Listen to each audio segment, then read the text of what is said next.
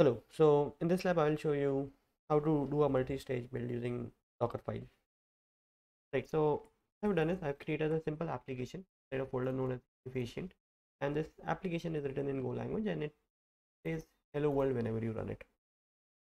Simple application says hello world, nothing more than. Now, uh, I want to run this application inside the Docker file and this is what the Docker file looks like. So I'm pulling in Go language image, right? And setting a working directory as hello uh, world. Then inside that I'm copying the program and building the application. And then I'm building the application. Now for building the application, I might require a number of libraries. It is a simple application. It might not require all the libraries, but might require a number of libraries. That is the reason why we have taken a Go language base image as all the required dependencies. Okay.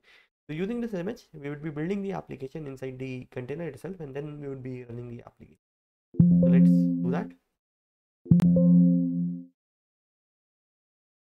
Let's do a Docker build hyphen t and name this image as inefficient. Now, reason for calling as inefficient, I'll talk about it later.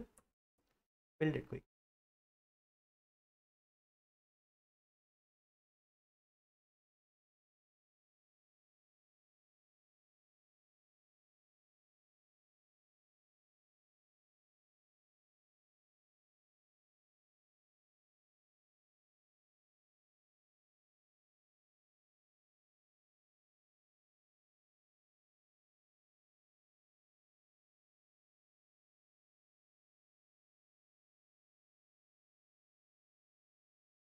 And the image is ready.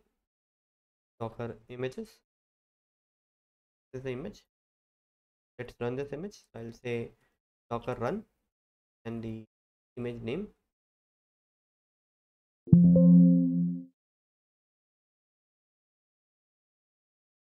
Displayed an hello world application. Uh, application from the hello world printed hello world from the application right and exited. Now let me move to a different folder.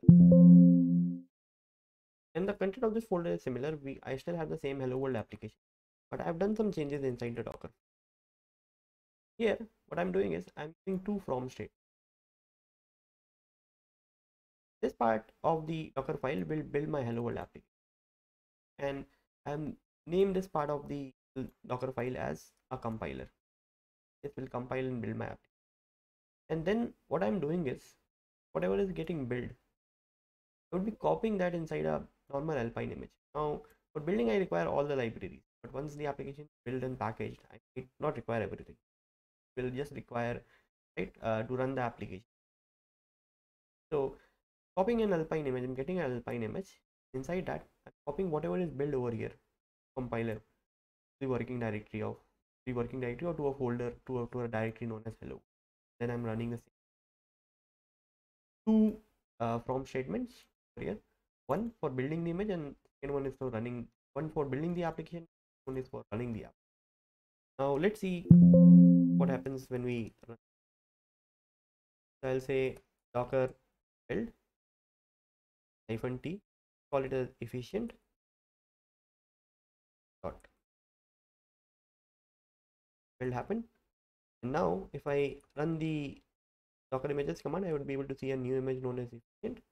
And if i do a docker run and i run this image known as efficient it will still shame still display the same hello world as out difference is first image the image is 784 mb and the second image is only 7 mb reason for this is first image has all the libraries which is not even required to run my application right? It's a base go language image. All the libraries then second image it uses the go language image as a build layer. Once the build is completed copying the build artifact inside a lightweight alpine image and there i'm running. So this image is essentially just an alpine image with okay? This is what multi-stage build is. So you can have uh, multiple from statements. One from statement can be used for building the application. Other one can be used for running the application and using it as a image for running your containers. This is it for this lab. Thank you for watching